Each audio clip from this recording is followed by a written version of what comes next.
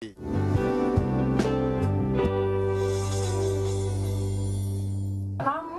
Ica yang telah menghancurkan masa depan anak saya.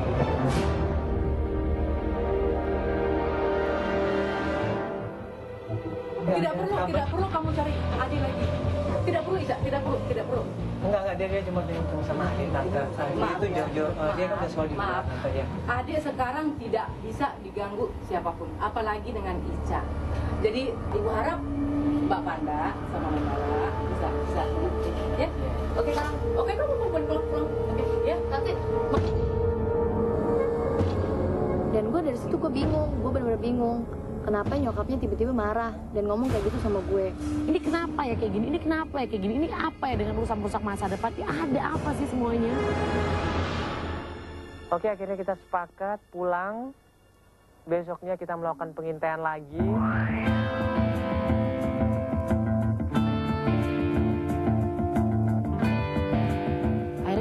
Lagi keesokan harinya untuk melakukan pengintaian berikutnya.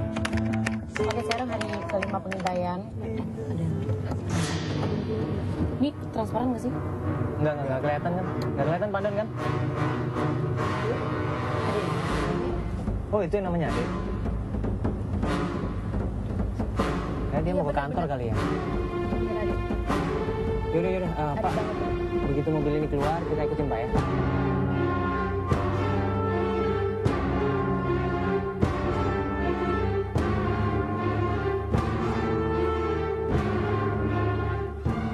Satu jalan ke jalan yang lain dan ternyata adik ini masuk ke suatu tempat yang di situ ada tulisannya sekolah tuna netra.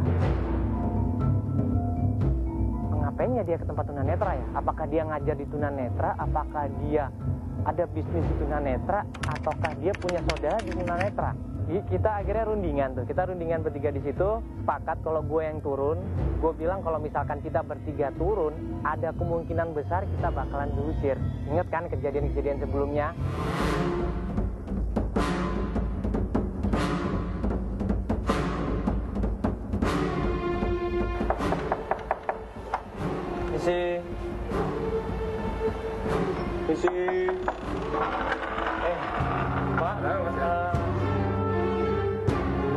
Mahasiswa sedang magang di Trans TV. Gue datang ke sini eh, mau ngeliput tunanetra yang mungkin masyarakat akan membantu tentang penderita tunanetra di sini. Gue di situ yang sempat bohong. Aduh, gue yang sorry banget Bapak ya. Gue minta maaf banget karena gue sempat bohong. Tapi kalau nggak bohong, gue nggak mungkin bisa masuk. Masuk kan? Iya, makasih ya.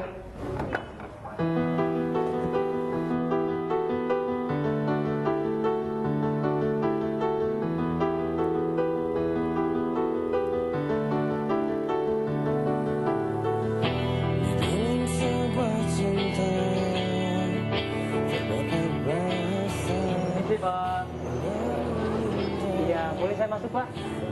Iya. Kau berusaha pelan-pelan banget menjelasin semuanya. Dan Pak Adik bilang, Tolong ya mas, saya lagi sibuk. Mas tolong keluar aja ya. Sehingga bisa ketemu Maica. Maaf ya mas. oke oke iya Pak. Gue mikir nih apa Mandala diusir, apa Mandala berantem. Sampai akhirnya Toto Mandala telepon gue. Nah, lu mendingan di sini deh. Ada sesuatu yang penting gue mau ngomongin sama lu berdua. Ah, yaudah. Lu langsung di sini aja ya. Gue tunggu di depan perpustakaan pas depan pintu masuk ya. Kita ditelepon sama Mandala untuk masuk ke dalam. Akhirnya gue sama Panda masuk. Ya udah, mendingan kita langsung ke dalam aja lagi. Coba. Uh, di sini aja deh. Mending lu sendiri aja. Mandala cuma bilang ya, Ade nggak mau ketemu Ica. Ya kenapa? Dan tau tahu dia bilang yaudah Ica biarin masuk sendiri.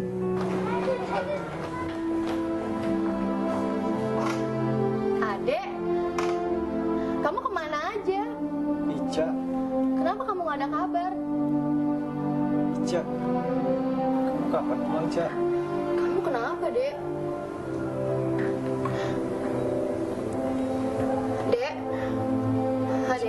Ica.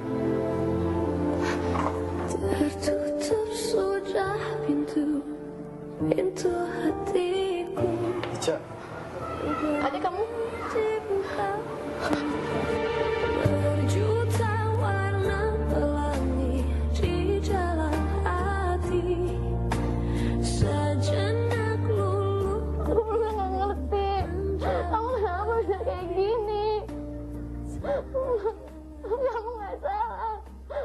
Aku yang. Kamu bisa Gak mau kamu tahu aku seperti ini, Ica. Aku nggak peduli.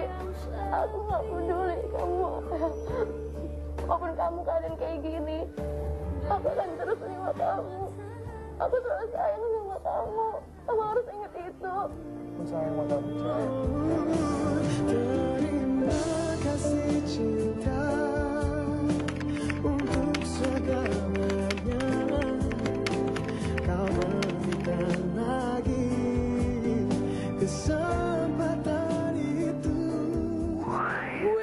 Dan juga semuanya terkejut dengan ternyata apa yang terjadi dengan Ade. Kita semua dari sendiri dan ngeliat. Tapi satu hal yang patut kita contoh dari Ica adalah dia bisa menerima kekurangan dari temannya. Benar sekali. Ya udah eh, Mandala Abadi Soji di sini mohon pamit. Anda juga pamit mundur. Kita ketemu lagi di. Termehe-mehe minggu depan. Hanya di cantik.